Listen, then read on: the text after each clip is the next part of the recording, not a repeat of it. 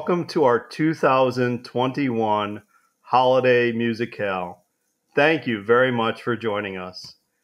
This marks the beginning of our 32nd concert season. Due to current circumstances, World Children's Choir rehearsals and performances are all held online. We are so very much proud of our singers. Their last public concert was exactly two years ago. They have not stopped singing and dancing online in Zoom every week using the fabulous technology from JackTrip Labs. Their virtual studio device makes it possible for everyone to perform together, to see and to hear each other with no discernible latency problems. The audio quality is outstanding as well. And early this year, we found the Easy Virtual Choir website that makes it possible for singers to easily record their voices in individual videos that are combined into the videos that you will see this evening. This service is free and used worldwide. Thank you, EVC. The World Children's Choir has a long and exciting history, a history of beautiful singing that is a voice for children worldwide. The vocal and performance training has prepared them to sing for four former U.S. presidents, justices of the Supreme Court, and at many high profile venues, including the John F. Kennedy Center for the Performing Arts, the State Department, Wolf Trap Performing Arts Center, the Virginia Governor's Mansion, and many other high profile venues. We offer weekly rehearsals to children and teens who live within 250 miles of the Washington, D.C. area and will accept new singers beginning in January. Please join us on our mission. We also have some exciting new opportunities and initiatives that you can read about in your concert program. First, the Global Family Virtual Choir. Next, coaching for individuals and small ensembles. And very recently, the International Choir Network concerts on Facebook and YouTube. In fact, just last night, WCC was included in the Caristas de San Nicolas 2021 Festival, San Nicolas Sing Without Borders Festival. Other choirs participating were from Brazil, Colombia, Ecuador, and Mexico. This evening, our musicale includes seven songs. First, A La Nanita Nana with Coventry Carol. This arrangement includes both a traditional Spanish melody, and a traditional 16th century English carol, and was arranged by Greg Gilpin. Next, Bashana Haba a song of hope for the new year by Nurit Hirsch, arranged by V. Pasternak with editing by Henry Leck. Third is one of our favorites, very sweet, Dormi, Dormi, a lovely Italian carol arranged by Mary Goetze. Fourth is one of the shortest and sweetest of our holiday carols. It's Jak Jsi Krásné, a traditional Czech Christmas carol arranged by Tomáš Harant. Fifth, Jingle Bells. This is a slightly different version than you might be familiar with. This one is by James Lord Pierpont, and this jazzy version was arranged by Ray Charles, who we actually met at the Kennedy Center at one of our performances. Sixth, the Kalanta of the New Year, Saint Basil's Day, a traditional Greek folk song with English text and setting by Malcolm Dalglish, edited by Henry Leck. The solos tonight are sung by Marie Hermans and Gracie Yim. Our last song, One Light, a Hanukkah song. The music is based on Tua Bethlem Dref a traditional Welsh carol.